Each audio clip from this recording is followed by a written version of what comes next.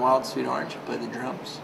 What do you use? What Ludwig kit do you use? Is it a vintage one or is it a... No, it's a it's a reissue. It's a it's just the Ludwig Classics that came out a couple years ago, and um, you know, of course, I would want, I do want you know great vintage drums, but the problem with vintage drums and touring is that they're not really, you know, they used to be able to you know hold up you know every night, but you can't take a 1966 kit out play it every day and expect it to you know Hold up. Right. So I ordered a new one and it has new hardware and you know it's not quite made the same way as the old ones as far as the beveled edges on the toms and stuff like that. What people look for in vintage kits um, who record and whatnot, but you know they sound great and you know they look awesome.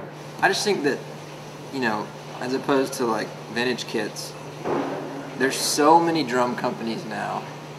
There used to only be a handful and you know I think the fabricated standard kits that are coming out from all the drum companies now, um, excluding the custom companies, um, you know, they're all about the same. You know, most drum companies use the same type of shell, um, Keller shells, and most of the custom companies use those kind of shells.